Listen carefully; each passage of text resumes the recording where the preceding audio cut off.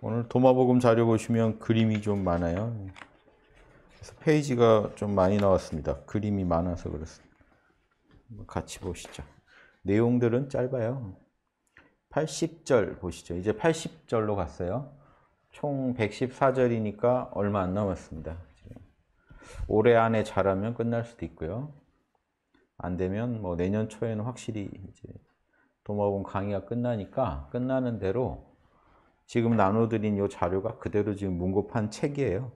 그래서 그, 어, 원고 작업이 지금 강의 끝나면 원고가 끝나요. 그래서 바로 문고판 도마복음 책을 출간해 보겠습니다. 80절 세상을 깨닫고 육체를 발견하라. 예수님께서 말씀하시길 누구든지 세상을 깨닫게 되면 육체를 발견하게 될 것이며 누구든지 육체를 발견하는 자에게는 세상은 더 이상 합당하지 않을 것이다 라고 하셨다. 요거 기억나시죠? 지난번에 했던 그거랑 똑같아요. 그때는 뭐였죠? 누구든지 세상을 깨닫고 이 몸과 자 우리의 영, 영, 혼, 영혼이 거주하는 이 몸과 이 몸을 둘러싼 세계는 이게 한 세트입니다. 예, 그래서 몸과 세계는 한 세트예요. 이 물질의 몸, 물질의 세계. 이 영혼이 이제 죽으면 몸을 떠나죠.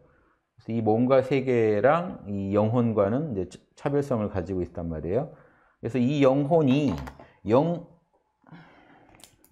이 영혼이 성령을 각성한 온전한 혼으로 작동할 때는 이 영혼이 성령 각성과 거룩한 성화를 거쳤을 때 혼이 이 영혼을 담을 수 있는 또 하나의 몸, 영적인 몸이 필요하다. 이게 부활체다. 이 얘기는 많이 드렸고요. 이 물질의 몸과 이 물질의 세계를 한 세트로 또 보고 얘기를 하시는 겁니다. 누구든지 이 세상을 깨닫게 되고 지수화풍 공, 공도 이제 형이상학적 공을 얘기할 수 있고 성령 에너지로서 이 지수화풍 에너지 차원대에서 말할 수 있는 이 허공 에너지도 말할 수 있어요. 그래서 지수화풍 공, 두 가지 의미가 있는데 지금 지수화풍 공으로 이루어진 공, 공을 넣으면 또 헷갈리실 수 있으니까 지수화풍으로 이루어진 세계와 지수화풍으로 이루어진 이 몸뚱이는 한 세트다. 세상을 깨닫게 되면 육체를 발견하게 돼요.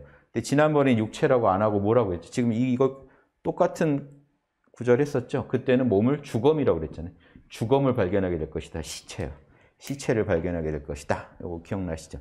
누구든지 세상을 깨닫게 되면 시체를 발견하게 될 거다. 내 몸뚱이가 시체죠, 사실은. 이 영혼 떠나면 시체잖아요. 영혼이 거주하고 있는 시체인 거죠. 영혼이 떠나버린 시체가 우리가 흔히 말하는 시체고. 그래서 지금 여기서는 주검이라는 표현을 안 쓰고 이제 육체라고 했죠. 세상을 알면 육체의 본질도 깨닫게 된다. 그래서 누구든지 육체의 본질을 발견한 거죠. 육체가 뭔지 정확히 알게 된 자는 그 자는 누구냐면요. 영혼이 거룩해지고 어, 이 영적인 육체를 갖춰서 영생을 얻게 된 사람을 말합니다. 이 세계와 몸의 본질을 깨달은 존재는요. 성령을 각성해서 성령 안에서 영생을 얻은 존재를 말해요. 그러면 영적인 몸까지 갖춘 존재를 말합니다. 낙원에 들어가는 비밀도 지수화풍 공에 있거든요. 그래서 이 영적인 육체의 비밀도 지수화풍 공에 있고 세상과 육체의 비밀도 지수화풍 공에 있는데 물질적 차원의 지수화풍 공이 아닌 영생의 육체의 비밀인 지수화풍 공을 깨달은 자, 낙원에 가는 다, 낙원에 있는 다섯 가지 그 나무 그리고 그 나무의 열매를 의미하겠죠. 그 낙원에 들어가는 비밀을 깨달은 자에게는 어, 그, 즉 물질 육체와 물질적 세상의 한계를 깨달은 자죠. 본질을 깨달은 자에게는 세상은 더 이상 합당하지 않다. 그때 보셨던 각주랑 똑같은데 조금 다듬어서 다시 읽어볼게요. 누구든지 참된 영혼육의 비밀을 깨우쳐서 이게 참된 영혼육의 비밀이죠. 성령 성령으로서의 영과 성령으로 거듭난 혼 그리고 성령 에너지로 부활한 우리 육체, 부활체 요 비밀을 깨우쳐서 영적 배의를 치우고 하나님의 영광인 참된 영을 온전히 각성하고 하나씩 얘기해 보는 거예요. 영혼육의 비밀을 어떻게 깨우치냐? 칭의 차원에서 성령을 각성하고 가리고 있던 베일 치워내고 우리가 성령을 모르고 살았잖아요. 내 안에 있는 참된 영을 각성하고 혼을 지혜와 사랑 실천으로 이 세 가지 방면으로 거룩하게 정화하고 이게 성화고요. 그다음에 6차원에서는 지금 0차원, 혼차원, 이제 6차원입니다. 칭의, 성화, 영화라고 그래요. 불멸의 영적 육체를 얻은 이는 세상의 왕국의 실체, 물질적 세계의 실체를 깨닫고 하나님의 왕국을 깨닫게 된다. 몸과 세계는 한 세트거든요. 자, 이렇게 생각해 보세요. 몸과 세계는 한 세트니까 우리가 꿈속에 있는 몸은 꿈의 세계랑 한 세트죠. 우리 꿈에서 깨서 우리가 현실에서 살아갈 때 겪는 경험하는 이 몸뚱이는 이 물질 세계랑 한 세트죠. 그러면 영적인 몸을 만드셨으면 이 몸은 어디랑 한 세트일까요? 천국과 한 세트입니다. 그래서 영적인 몸을 얻으신 분은 이미 천국의 당당한 통치권까지 얻으신 분이 되는 거예요. 칭의 성화를 다 이루고 얘기입니다. 이루고 영화까지 얻은 이는 천국에서 예수님과 함께 통치권을 행사한다. 왕노릇한다. 이렇게 돼 있죠. 세상의 왕국의 실체를 깨달았다는 것은요. 세상에 있는 내 몸뚱이의 실체도 깨달은 겁니다.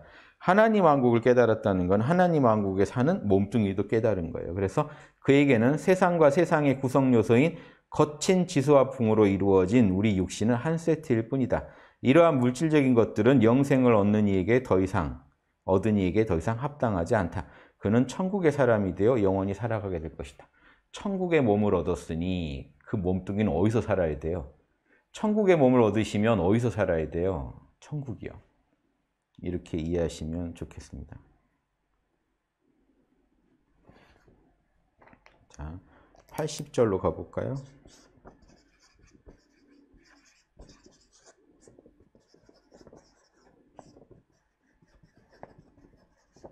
81절 풍요로운 자가 다스릴 수 있다.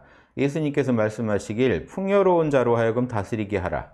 권세를 가진 자로 하여금 물러나게 하라라고 하셨다. 이 구절도 수수께끼 같은 구절이죠. 근데 보시면 다 이해하실 수 있습니다. 무슨 얘기 같으세요? 풍요로운 자가 다스려야 된다. 풍요로운 자가 다스려야 돼요. 그리고 권세를 가진 자로 하여금 물러나게 하라.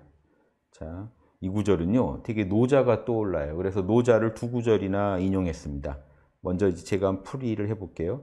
자신의 본질을 아는 자는 밝아지며 자신의 내면에 존재하는 아버지의 빛, 성령을 깨달아 안주하는 자는 만족할 줄 알게 되고 풍요로워진다. 자, 요 얘기는요, 밑에 있는 노자 얘기를 좀 의식한 얘기예요. 노자와 성경을 좀 한번, 한번 잘 접목시켜 봤습니다. 여러분 보세요. 여러분이 혼으로만 사니까 힘든 거예요. 혼으로 사는데 육의 지배를 받으니까 육의 엄청난 자극을 받으니까 이 혼은 늘 탐진치의 위기 속에 살죠. 탐욕, 분노, 어리석음 속에서 위기 위기 속에서 살아가는데 이 혼이 그러면 늘 가난하죠. 좋은 의미의 가난이 아니에요. 진짜로 이 심령이 고달픈 가난을 겪게 돼요. 그런데 내가 사실은 영 아버지의 성, 성령을 말하는 겁니다. 성령인 영이 내 안에 늘 존재했고 영으로 인해서 사실은 내가 혼과 육을 굴리며 살아왔다는 걸 깨닫게 된다면 진짜 나의 원주인, 원주체를 깨닫게 되면 어떻게 될까요? 하나님 자녀로 거듭나 버려요. 이 혼이. 그전에는 육의 지배를 받을 땐 혈육의 자녀다가 탐진치의 기본값으로 살아가다가 이게 기본값이었죠. 근데 이제 영의 기본값은 뭐예요? 하나님의 형상이요. 하나님의 형상, 하나님의 진리가 기본값이 돼버린 이제 하나님의 자녀로서의 혼이 돼버려요. 똑같은 혼인데 네. 어떤 기본값으로 작동하냐에 따라서 하나님의 자녀 아니면 혈육의 자녀 이렇게 되죠. 자 그러니까 하나님 자녀가 되자는 거겠죠. 풍요로운 자는 누구겠어요? 빈곤하다가 영적으로 진짜 찢어지게 가난하다가 탐진치 기본값으로 살다가 늘 고달픈 이 헬 지옥의 삶을 살다가 하나님 만나서 천국의 삶을 사니 얼마나 풍요로워요.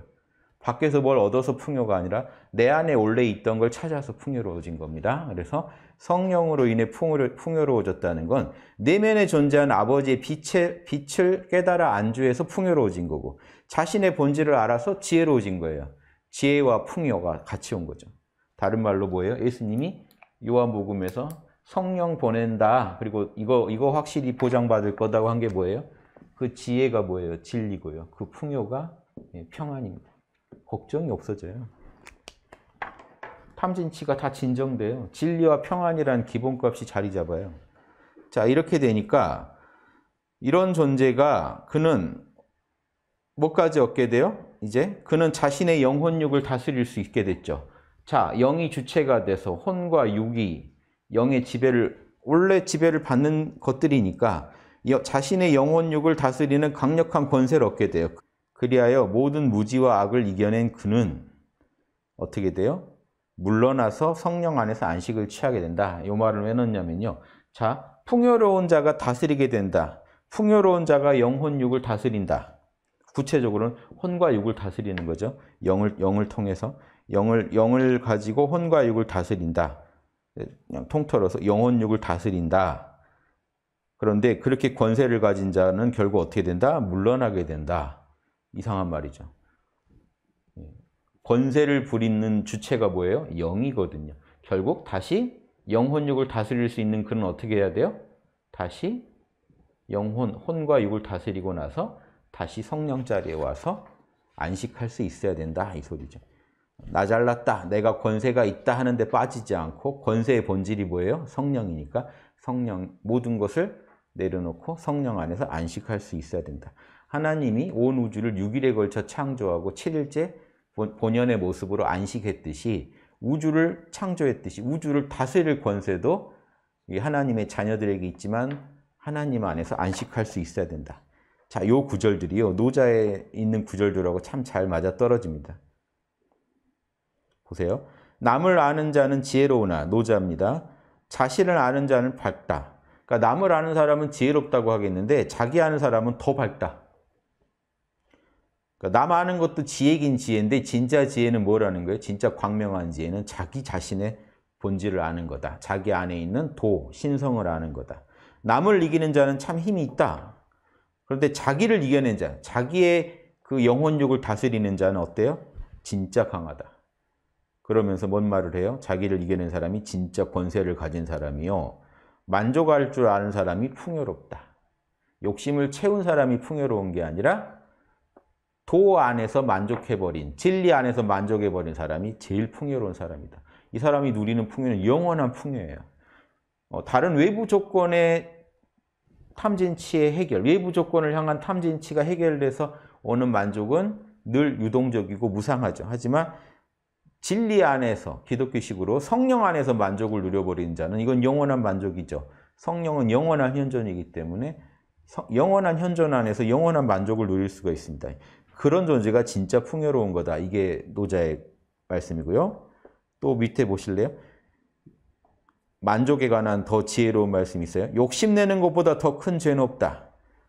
그러니까 욕심내는 부질없는 욕심이겠죠. 욕심 자체가 다 죄다고 할 수는 없지만 우리가 욕심을 부리는 것, 되도 않을 거 욕심 부리는 거, 비양심적 욕심 부리는 거, 그게 제일 죄다. 그리고 만족할 줄 모르는 것보다 더 큰 재앙이 없다.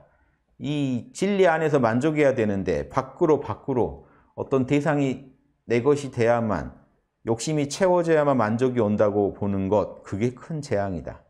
이거는 욕심이나 우리의 어떤 만족 모르는 인간의 기본적인 이, 이 중생심의 이 마음들을 가지고 거기서 큰 재앙이 일어나고 있다는 걸 경고하는 거죠. 그러니까 욕심 부리고 만족 못하는 건 당연한 중생의 삶인데, 그쵸? 보세요. 탐진치. 탐이 욕심 부린 거고, 진이 만족 못하는 거예요. 만족이 안 되니까 화가 나는 거거든요. 욕구 불만이거든요. 그러니까 탐, 이거, 이거, 탐 이거만한 죄가 없고 모든 일은 여기서 일어나니까 욕심에서. 그러니까 욕심 자체가 죄다 이건 아니에요 지금. 모든 죄악들이 욕심으로 인해 일어나더라 이 소리고요. 만족 못하는 게 큰 재앙이다. 모든 재앙들이 만족 못해서 일어나더라. 욕구 불만에서 일어나더라. 욕 그러니까 그 욕심을 다 채우는 것보다 더 큰 허물이 없다. 그러니까 내가 이 정당한지 가져야 될 것인지 말 것인지 따지지 않고 다 채우는 거 그게 제일 큰 허물이다. 따라서 결론은 뭐예요? 만족할 줄 알아서 만족해버리면 늘 만족할 수 있다. 뭔 소리입니까? 그냥 만족하라는 거죠. 그냥 만족은 어디서만 가능해요? 진리로요. 그러니까 여러분 몰라 괜찮아 해버리는 게 지금 만족하는 거예요. 그러니까 지금 뭔가 내가 채워야 돼. 그런데 모든 재앙들이 다 내가 뭔가 불만을 갖고 채우려고 하는 데서 재앙도 일어나고 죄도 일어나더라. 그거를 한번 생각해 보시고 진짜 욕심 내가 다 채웠을 때 오히려 큰 허물을 지을 수도 있다는 것도 생각해 보시고 자명하지 않은 거, 찜찜한 거, 비양심적인 거는 몰라, 괜찮아 해버리시고 그냥 만족해버리시라. 진리에 만족해버리시라는 거예요. 그러면 만족을 할 줄 알아서 만족을 해버리면 그러니까 만족해야지 하고 몰라 괜찮아 하다가 진짜 만족이 와버리면 늘 만족할 수 있다. 왜 늘 만족이냐? 도는 영원한 거니까 영원한 도 안에서 늘 만족해 버리는 게 최고다. 이게 사도 바울이 범사에 감사하라 이 소리랑 같은 거죠. 그래서 풍요로운 자는요. 뭔가 많은 거를 가진 자가 아니에요. 이해되시죠? 만족할 줄 알고 성령 안에서 난 하나님이면 충분해요 하고 하나님 안에서 만족해 버린 사람이 제일 풍요로운 자다. 이 소리 얘기하고 싶은 거고요. 나의 본질을 아는 사람이 제일 지혜로운 자고 자기의 그런 이 혼과 육의 부정을 비양심을 다스릴 수 있는 자가 성령 각성을 통해서 제일 권세 있는 자다. 이런 얘기들이 노자랑 잘 통하죠. 그런데 그런 자도 그 권세 권세를 가졌더라도 권세에 집착하지 마라 이 소리입니다. 그 권세 내려놓고 권세의 본질이 뭐라고요? 내 에고가 잘나서 권세 얻은 줄 알아요. 영혼육이 다스려졌을 때 내가 위대해가지고 내 영혼육을 이렇게 멋지게 다스리나 보다 하지 말고 어쩌라고요? 권세를 내려놓고 물러나서 성령 안에서 안식할 수 있어야 된다. 너의 권세의 본질이 성령이라는 걸 명심하라. 요 소리입니다. 82절 가볼게요. 나에게서 멀어지는 자는 왕국에서 멀어진다. 계속 뭔가 그릴 게 있어서 지우고 가겠습니다. 82절 나에게서 멀어지는 자는 왕국에서 멀어진다. 예수님께서 이렇게 말씀하셨어요. 나에게 가까인 사람은 누구든지 불에 가까이 있는 것이다. 예수님이 본인을 타오르는 불이라고 얘기한 겁니다. 성령불로 타오르고 계세요. 뜨거워 죽겠어요. 제가 늘 얘기하는 거 이거죠. 자 보세요. 쇠공인데 쇠공인데 예수님도 우리랑 똑같은 혈육을 지닌 존재니까 혼과 육이 있는 존재니까 쇠공 맞습니다. 혼과 육의 본성이 쇠공이에요. 자 보세요. 혼과 육의 본성이 쇠공이에요. 쇠공이라는 건요. 탐진치의 본성을 갖고 있다는 겁니다. 서늘해요. 그런데 이 안에 우리 안에 불씨가 있어요. 이게 뭐죠? 성령의 불이죠. 성령의 불이 있어요. 성령의 열기가 있어요. 요 불이 활활 타오르는 쇠공은 어떨까요? 이미 쇠공인가요? 불덩어리지. 그러니까 예수님은 우리랑 똑같은 혈육의 자녀지만 혼육을 갖고 있지만 혈육을 갖고 있지만 성령불로 타오르고 있기 때문에 이 불이 사방으로 뻗쳐가지고 타오르고 있기 때문에 우리가 볼 때는 성령 덩, 그 자체예요. 예수님은 이런 존재를 성자라고 하고 성자는 뭐예요? 눈에 보이는 성령이에요. 성령 원래 눈에 안 보이는데 눈에 보이는 성령, 말하는 성령이에요. 말하는 성령, 행동하는 성령입니다. 우리 눈에 보이게 행동하는 성령이고 말의 진리를 말해줄 수 있는 성령이에요. 그러니까 내, 이 실제로 예수님 가까이 있는 사람은 누구든지 불 가까이 있다는 거예요. 지금 타오르고 있는 불덩이 옆에 있다는 겁니다. 나에게서 멀리 떨어져 있는 사람은요. 어떻게 되겠어요? 반대로 떨어져 있는 사람. 자, 그러니까 다른 세공들은 어떨까요? 다른 세공들. 자, 다른 세공이 있어요. 성자가 A라면 B라는 다른 혼육이 있어요. 다른 혼육, 다른 혈육이 있어요. 자, 가까이 가면 어떤 일이 일어날까요? 가까이 가면. 이 자체가 불이잖아요. 불에 가까이 간 거랑 똑같으니까 이쪽도 어때요? 열기가 타오르기 시작하겠죠. 밑에다가 그림은 밑에다 그렸는데 지금 여기서 설명할 때는 안에서 설명할게요. 불씨가 예. 자 가까이 가면 이렇게 대표지고 있는 거는 지금 그림처럼 밑으로 그릴게요. 안에다 바로 그리면 안 돼요. 지금 설, 설명을 드리려면. 이 열기로 인해서 막 데펴져요. 같이 데펴져요. 이것도 열, 열기를 막, 열기의 영향 안에 들어오겠죠. 이것만큼 뜨겁진 않아도 뭔가 열기가 자꾸 뻗치겠죠. 이쪽으로. 그러다 보면 어떻게 돼요? 자기 안에서도 타오르고 있는, 자기 안에 있는 불씨까지 찾게 될 거예요. 예수님처럼. 요게 이제 예수님 옆에 가면 일어나는 변화입니다. 예수님 옆에 가면 일단 뜨거워져요. 함께 같이 뜨거워지기 시작하다가 어떻게 돼요?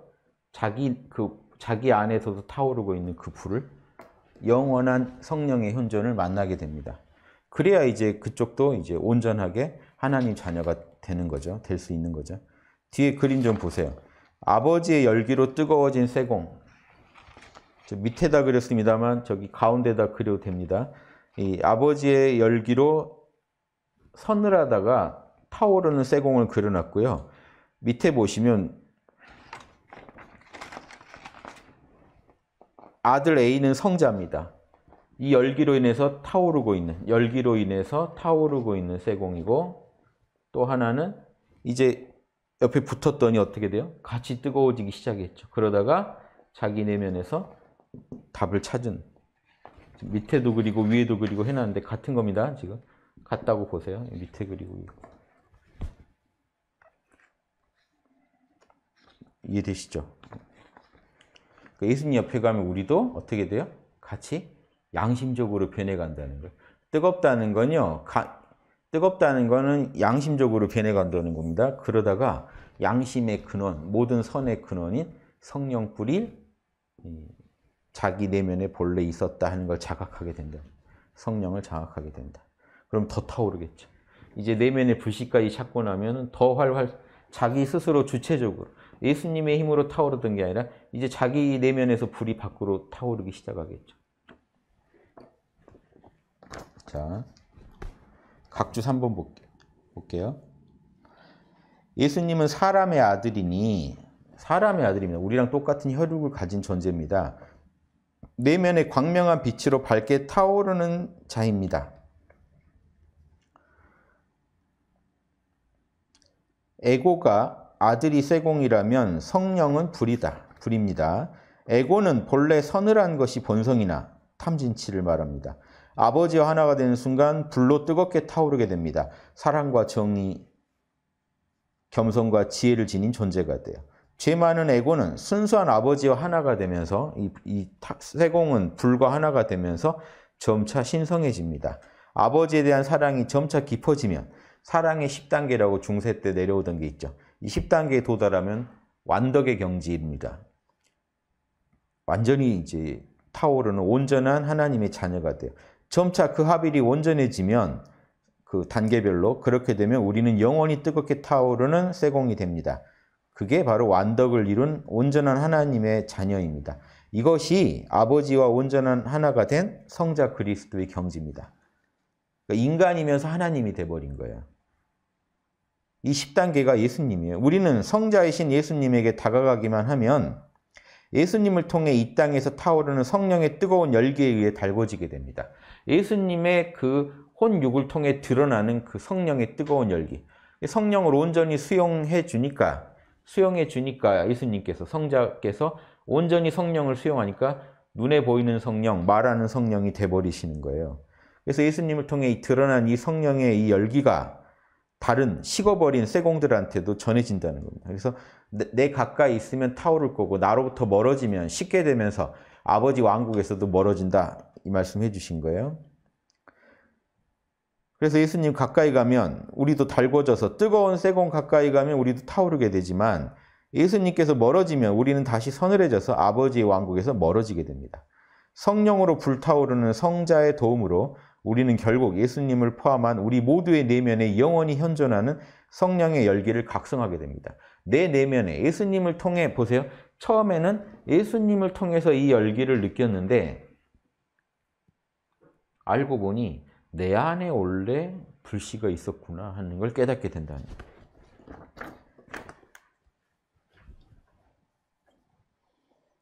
음, 그래서 이 열기가 점점, 점점 강해지게 되면 언제 어디서나 불타오르게 됩니다. 내면의 불씨를 찾았으니까. 이제 스스로의 힘으로 타오를 수 있는 거죠. 스스로의 힘이라는 것도 알고 보면 뭐예요? 예, 그 성령의 열기의 힘입니다. 우리 내면에 존재하는. 그래서 우리는 하나님의 온전한 자녀가 될 수 있습니다. 예수님이 나처럼 될 수 있다라고 하십니다. 너희는 빛의 자녀다. 이 열기가 빛이죠. 빛의 자녀다. 빛과 열기를 지금 다 성령 불로 설명해 봤습니다. 비치면서 열기에 이 열기로 인해서 이 빛으로 인해서 우리는 온전해질 수 있다. 너희는 빛의 자녀니 아버지처럼 온전해져라. 예수님 말씀이 이겁니다. 그림에는 그림에는 밑에다 그려놓고 또 설명할 때는 안에다 그리니까 혹시 헷갈리실 수 있는데 그냥 같다고 봐, 봐주세요. 음.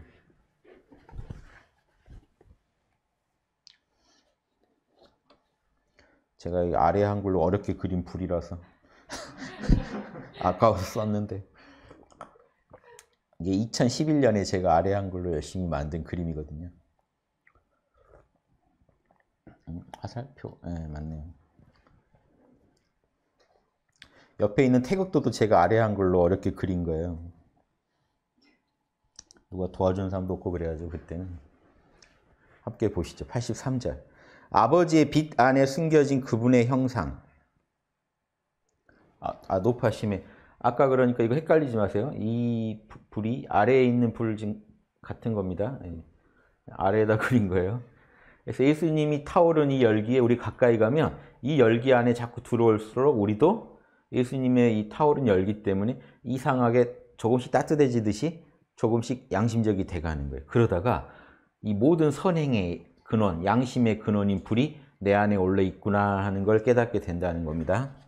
아까 제가 좀 이 불 아래에다 그리고 하는 걸 가지고 딱 이 느낌 나게 설명 안 된 부분이 있는 것 같아서 다시 요, 요 이야기로 바로 잡으시길요. 83절 아버지의 빛 안에 숨겨진 그분의 영상. 예수님께서 말씀하시길 겉으로 드러난 형상들은 사람들에게 보이지만 이런 얘기도 이상한 얘기예요. 예수님이 이런 얘기 하셨다는 게 특이하죠. 들어보세요. 성경에서 볼 수 없는 일반 그 복음에서 못 보시던 말씀일 거예요. 근데 저는 확신해요. 예수님은 늘 이런 얘기를 하셨을 거예요. 도마가 이걸 기록해서 그렇지. 왜냐하면 성령, 성령의 불과 빛 안에 살아가시는 분이라면 이런 얘기를 안 할 수가 없거든요. 예수님께서 말씀하시길 겉으로 드러난 형상들은 모든 사람들에게 보이지만 이 몸뚱이는 모든 사람들에게 보이지만 여러분 각각의 몸뚱이는 모든 사람들한테 보이지만 서로 서로 그들 안에 있는 여러분 안에 있는 빛은 우리 안에 있는 빛이 뭘까요? 우리 각자 내면에서 발견되는 성령의 빛이죠. 그 각각의 내면에서 발견되는 성령의 빛은 불교에서 월인 청강이라고 그러죠. 달이 달이 달이 달은 하나인데 보세요. 달은 하나인데 강이 천 개가 있어요. 그럼 어떻게 돼요? 달이 천강마다 모두 도장을 찍어놔요. 이게 월인 천강입니다. 달이 천강에다 도장을 찍어놔요. 천강, 만강, 천만강에도 다 도장을 찍어놔요. 빛은 하나인데, 근원은 하나인데. 그러니까 모든 사람 안에서 발견되는 이 빛들은 뭐예요? 성령의 빛들이에요. 이 모든 성령의 빛들은 알고 보면 아버지의 빛의 형상, 아버지의 빛 속에 숨겨져 있다. 원래 하나다 이거예요. 여러분 내면에서 발견되는 빛, 영이죠, 영. 여러분 내면에 있는 영. 요 불씨가 영이죠. 여러분의 영. 영 자리는 영이 알고 보면 성령이다. 이 소리죠. 영이 사실은 성령인데 그 성령은 아버지의 빛 안에서 하나다. 즉 아버지, 성부, 성부의 영일 뿐이라는 거예요. 여러분 내면에서 발견되는 모든 영들은 본래 성령이고 그 성령들은 아버지가 숨결을 불어넣어줘서 만물이 굴러가고 특히 인간은 그 성령의 숨결을 받아가지고 영혼육을 갖춘 온전한 존재가 됐잖아요. 뭐 인간만 그러겠어요. 사실 동물 돌아다니는 것도 다 숨결 받아서죠. 그럼 하나님의 영으로 모든 게 굴러가고 우주 전체가 작동되는데 움직이고 쉬고 하는데 그 성령이 어디서 왔냐? 근원은 성부, 아버지의 빛 안에서 하나였다 원래. 그분의 빛은 밝혀질 것이다. 그 아버지의 빛은 어떻게 밝혀져요? 우리 내면에서 밝혀지는 거예요. 우리 내면에서 지금 빛나고 있는 그 성령이 사실 아버지의 빛이라는 거예요. 아버지의 영이잖아요. 그래서 우리의 빛이 아버지의 빛입니다. 아버지의 빛이 밝혀질 것이다. 이게 뭐예요? 지금 그분의 빛이 밝혀진다가 뭘까요? 오늘 그림을 많이 그리게 되네. 좋죠. 좋죠. 자, 항상 이거 기억하세요. 여러분은 혼, 즉 에고의 마음으로 살아가고 있습니다. 혼과 유. 에고가 이거 내, 내 마음이야, 이거 내 몸뚱이야. 이게 에고입니다. 에고가 내 마음이야, 내 몸뚱이야 하면서 이 혈육의 지배를 받는 혈육의 자녀로 살아요. 그런데 내 안에서 자, 이 거죽은 이렇게 육신의 거죽을 가지고 말하면 겉으로 드러난 형상들은 사람들한테 보이지만 여러분 안에 있는 그들 안에 있는 빛, 요, 요게 빛입니다. 빛이고 요게 영이에요. 빛인 성령은 눈에 안 보인다는 겁니다. 안 보이는데 이 안 보이는 빛은 사실 뭐라고요? 근원이 아버지의 빛 안에서 나온 거다. 하나다. 아버지 빛 안에 다 숨겨져 있다. 그러니까 우리의 성령은 다 아버지의 예, 성령이라는 거죠. 그분의 빛은 밝혀질 것이다. 우리 내면에서 밝혀져요. 여러분 내면에 빛이 있다는 게 지금 밝혀져야 돼요. 밝혀지셨나요? 예. 이걸 뭐라 그래요? 제가 얘기하는 이게 칭의입니다. 그럼 여러분이 혈육의 자녀로 살다가 이 에고가 혈육의 자녀다가 혈육의 지배를 받는 혈육의 자녀이다가 아니면 사탄의 종이다가 갑자기 빛의 자녀가 돼버리는 거예요. 하나님 자녀가 돼버리는 거예요. 이 소속이 바뀌어요. 그래서 칭의, 의로, 의롭다 칭한다가 이제 혈육의 자녀, 사탄의 종 아니고 하나님 자녀야 이게 칭의입니다. 이제 의로운 존재야 당신은 이 빛을 찾았으니까 빛이 드러났으니까. 근데 드러날 때 이 빛이 드러날 때 빛 안에 있는 십자가의 진리도 드러나야 돼요. 옆에 그려놓은 게 이겁니다. 빛. 요걸 확대해 놓은 거예요. 요걸 확대해 놓은 게 뭐예요? 빛 안에 사랑, 정의, 예절, 지혜, 성실의 십자가의 진리가 이게 이게 하나님의 형상이거든요. 요게 하나님의 형상이에요. 동양에서 음양오행이라고 하는 게 하나님의 형상입니다. 요 하나님의 형상이 어디 들어있어요? 하나님의 빛 안에, 성령 안에, 영 안에.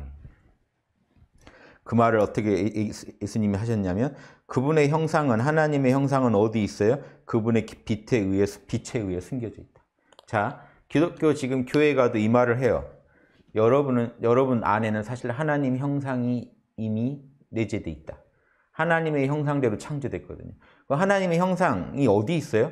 하나님의 빛 안에 있어요. 그 빛이 뭐예요? 우리들의 빛이에요. 우리들의 빛이고 아버지의 빛이에요. 우리 안에 있는 그 빛이 뭡니까? 성령이에요. I am 자리. 여기가 I am 자리입니다. I am. 나는 현존한다는 자리. 나는 현존한다. 지금 생각하고 말하고 행동하고 생각, 감정, 오감의 근원이에요. 나는 현존한다. 그 현존, 나라는 존재감. 그게 영원한 빛입니다. 그게 자 보세요. 겉으로 드러난 몸뚱이들은 사람들한테 보이지만 제가 거칠게 풀어볼게요. 그들 안에 있는 나라는 현존은 사실은 아버지의 나라는 현존 속에 숨겨져 있다. 원래 하나다. 그분의 그 나라는 현존은 사람들을 통해 밝혀질 것이다. 사람들 안에서 드러나게 될 것이다. 칭의. 하나님의 형상, 하나님의 진리는, 사랑의 진리는 그분의 빛에 의해 숨겨져 있다. 이 소리는 그 빛 안에 들어있으니까 찾아서 드러내라는 겁니다. 빛을 드러낼 때 이 빛만 이 빛만 드러나는 게 아니라 빛 안에 있는 뭐가 드러나야 돼? 그분의 형상이 아버지의 형상이 드러나야 돼. 이게 뭡니까? 성화예요. 칭의와 성화가 지금 다 나온 거예요. 아버지의 빛이 우리 안에서 밝혀져야 됩니다. 성령 부흥, 성령 각성, 성령 체험. 근데 그게 거기서 그 거기서 끝나면 안 돼요. 칭의에서. 그 빛 안에 숨겨져 있는 뭘 드러내야 돼? 아버지의 형상, 사랑, 정의, 지혜와 겸손을 온몸으로 우린 표현해야 됩니다. 그 얘기예요. 각주 4번 보실래요? 각 개체의 빛인 참나 영, 즉 성령은 모두 아버지의 빛 안에서 하나이다. 한 분이신 아버지가 각각의 에고를 통해 드러난 모습이 바로 참나 영, 즉 성령이다. 그분의 빛의 분신, 즉 우리의 참나는 다시 밝혀져야 된다.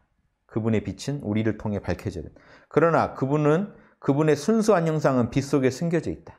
아버지의 순수한 형상은 세피로트와 같은 것이다. 요거 요 얘기는요. 요거를 이 음양 오행에 해당되는 거를 아버지의 형상을 카발라에서 얘기하는 게 이 세피로트입니다. 세피로트예요. 이거는 동양에서 말하는 무국이에요. 아인소프. 무, 무, 무, 뭐죠? 무제약, 무제약자. 제약이 없는 존재입니다. 여기서 한 점이 나와요. 이 점이 한 점은 항상 셋으로 찢어집니다. 천부경이랑 원리가 똑같아요. 하나가 셋으로 쪼개집니다. 플러스 마이너스 여기 가, 여기는 중이고 여기는 플러스 마이너스 여기는 플러스 그래서 또 이렇게 한 조, 한 조가 또 나와요. 또 한 조가 또 나옵니다. 그래서 모든 것의 완성이 또 하나, 한 점으로 표시돼요. 되셨죠? 요거를 세피로트라고 그래요. 자세히 보면 이겁니다. 여기가 태극자리예요. 태극인데 요, 여기까지가 3태극이에요, 사실은. 왜? 이게 태극 자리인데 그 안에 있는 음양이 그려지. 어떻게 보면 이제 이렇게 표현할 수도 있겠죠. 그냥 이제 음양만 그려놓고 제가 늘 그리던 방, 방향대로 그려놓게 안 헷갈리시게 같은 거지만 이 전체가 음과 양의 조합, 양과 음의 조합이니까 그냥 태극을 말해도 돼요. 근데 이제 굳이 세 개로 쪼개놨으니까 3태극을 말할 수도 있어요. 그래서 요, 요쪽은 마이너스 계열입니다. 이쪽은 가운데, 플러스 마이너스 중심이고, 여긴 중간이고, 이쪽은 플러스 계열이에요.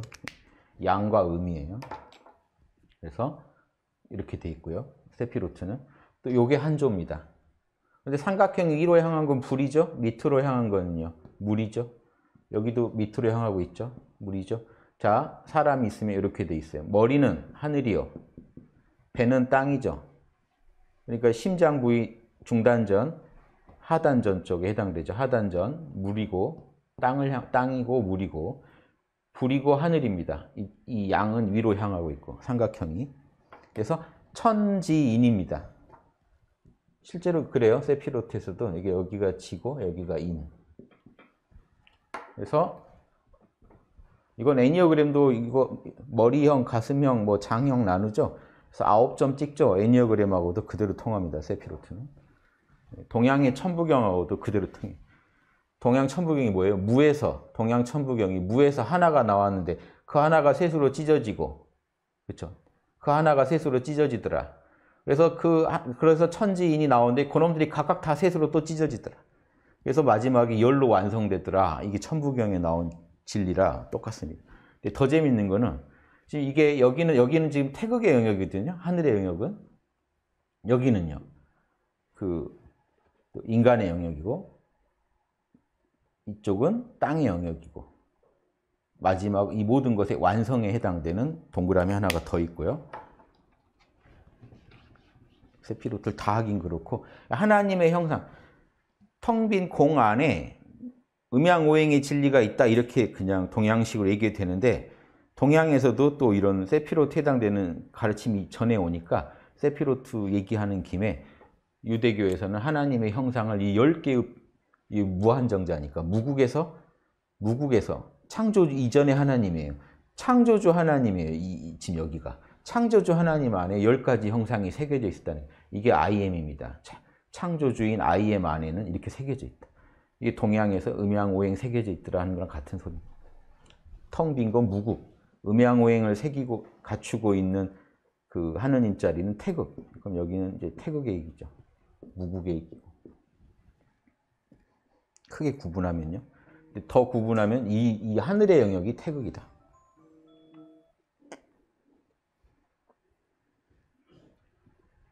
그리고 이 하늘에서 장차 보세요. 이게 전체가 태극 안에 있는 정보라는 점에서는 하나님의 형상이고 하나님 형상을 들여다보니까 하늘을 낳고 땅을 낳고 사람을 낳을 원리들이 들어있더라 이거. 그래서 근데 더 재밌는 게 이, 그럼 이, 부, 이 부분은 또 오행같이 돼요. 그런데 요 요 요 세계조에서요. 여기 여기 보실래? 이게 사랑입니다. 카발라에서 이쪽은 뭘까요? 음이니까 정의, 인의 나왔죠. 요 가운데 요건 뭘까요? 조화, 인의, 예절 나왔습니다. 근데 위에 여기 지혜 하나 있어야 되지 않을까요? 인의의 지니까. 근데 놀랍게도 요 두 점들이 다 지혜인데다가 요 중간에 점 하나를 설정해서 이렇게도 보는데 요 점도 지혜입니다. 그래서 이 점 하나가 이 점 하나를 더 그린 세피로트가 있고 안 그리고 보통 안 그려요. 근데 안 그려도 돼요. 위 위에 있는 것들이 다 지혜예요. 직관과 이해 둘 다 지혜 쪽입니다. 하늘은 진리를 알고 있는 게 포인트니까요. 지혜 쪽이죠. 그 지혜가 사랑과 정의로 감정 영역에서 구현되고 이 물질적 세계 영역에서도 구현돼 가는 거예요. 진리가 이렇게 말씀드릴게요. 근데 이제 나중에는요, 요 점이 왜 이제 그 문제 시대냐면 여기 중간에도 점 하나 더 설정할 수 있는데 요게 왜 문제되냐면 요세 개의 성부, 성자, 성모의 성모가 태극의 영역이라고 그랬잖아요. 3태극. 이 3태극이 물질을 창조할 때 7일 만에 창조한다가 1, 2, 3, 4, 5, 6, 7, 7점을 통해서 창조될 때 요, 요 점이 이 우주를 창조하는 창조주라고 보는 게 영지주의인데요. 영지주의에서는요, 이 현상계 물질계가 창조된 거를 악으로 봐요. 그래서 이, 자, 이, 자, 이 자리를 사탄으로 봅니다. 창조주를 사탄으로 봐요. 영지주의에서는. 그런 얘기랑도 얽혀 있다는 것도 아시고요. 온전한, 온전한, 예, 지상 천국에 해당되죠. 완성. 이, 이 10개가 온전히 완성된 그 이상향이에요. 이상. 이상적인. 현실화될 수는 없죠. 이 완성이란 건 없겠죠. 그런데 보세요. 재밌게만 보세요.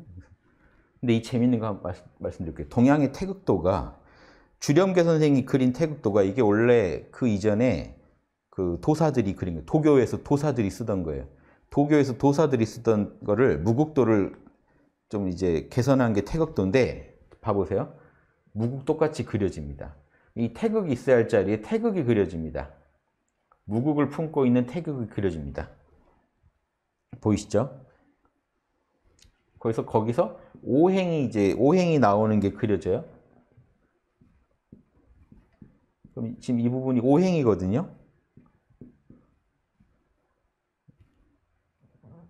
자꾸 이게 이렇게 이렇게 그려져 있는 게요. 요게 지금 오행입니다. 오행을 그려는 거예요. 금목 소화토 그려는 거예요. 그럼 여기 보면 재밌는 게 여기도 오행이 만들어지거든요. 합치면 밑에 점 두 개 더 있죠. 점 두 개 또 그려놨어요. 또 오묘하게 만나요. 천지인이 각각 세 점씩 있다는 그림으로도 맞고 동시에 그 위에가 3이 3태극이고 오행 음양이, 음양, 음양이 또 합쳐지면 3이 되니까 음양이나 3태극, 음양태극이나 3태극, 그리고 오행이 있고 밑에 동그라미 두 개를 해가지고 세피로트랑 또 통하게 그려놨어요. 이게 너무 신기해요. 이게 서로 참고를 한 건지 세피로트를 요 도교 도사와 그 주령계 선생, 유교 선비가 이제 무국도 태극도 만들 때 세피로트를 좀 구해서 보고 나온 건지 궁금할 정도로 예, 밑에 동그라미 두 개를 또 해가지고 잘 통하게 해놨어요. 그래서 이것도 한번 제가 같이 소개해 드립니다. 동양에서 천리를 이렇게 그렸다. 근데 이, 이, 이 관점은 이겁니다. 무국에서 태극이 나오고 황극이 나와서 남녀가 여기서는 이렇게 나와요. 여기서 남녀가 만들어지고 만물이 만들어진다 해서 동그라미 두 개를 쳐놓습니다. 자, 모든 만물은 무국에서 태극이 나와서 황극으로 펼쳐져서 남녀 만물로 만물이 만들어지면서 완성된다. 이게 태극도예요. 요 그림도 설명이 된다. 세피로트는 천지인이 셋으로 쪼개져 있다는 걸 말하는 게 포인트고 그게 아우러지면서 완성되는 게 이제 우주의 최고 목표다 하는 게 하나님 하나님 안에 하나님의 빛 안에 이미 하나님의 우주에 대한 청사진이 다 그려져 있었다. 이게 포인트입니다. 그래서 이런 식으로 그리는 그림도 또 묘하게 통하면서 잘 맞다. 제가 시간이 많으면 찬찬히 해드리겠는데 공부에 도움되시는 정도만 설명드릴게요. 제가 백수 때 계속 이런 것만 연구하면서 보냈어요. 재밌더라고요. 그래서 여러분한테 드리고 싶은 말은 많은데 일단 요 정도만 해서 공부하신데 참고하실 정도로만요. 또 다 얘기해드리면 재미없잖아요. 여러분 연구하셔야죠. 자, 맹자 얘기 한번 볼까요? 각주 4번에 있는 양심을 극진히하면 본성을 알 수 있다. 자, 인간의 마음 안에 우리 혼 안에 양심의 본체가 있다. 유교에서는 그 양심을 양심을 양심을 지극하게 파면 양심이 어떻게 생겼냐? 양심 안에 똑같아요. 아까 영이라고 했죠. 동양에서도 허, 영, 영입니다. 허령지각이라 그래요. 양심을. 영이에요. 텅 비어서 텅 비어서 신령한 영이 지각하고 있다. 알아차리고 있다.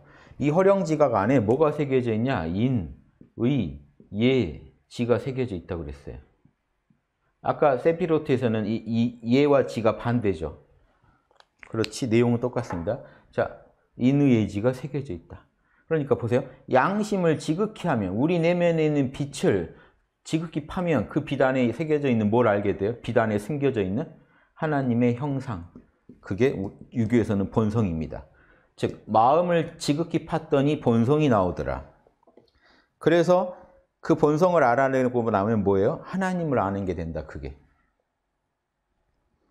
요게 맹자 진심상에 나옵니다. 같은 소리죠. 그리고 하나님의 형상에 대해서는 저기 시편 36장 뭐죠? 6, 7편 보십시오. 아, 36편 6, 7절 보십시오. 뭐가 있어요? 주님, 당신의 확고한 사랑은 보세요. 당신의 인의지 신이잖아요. 놀랍게 통합니다. 주님, 당신의 확고한 사랑은 하늘까지 뻗어 있으며 당신의 성실함은 구름까지 성실할 신자죠.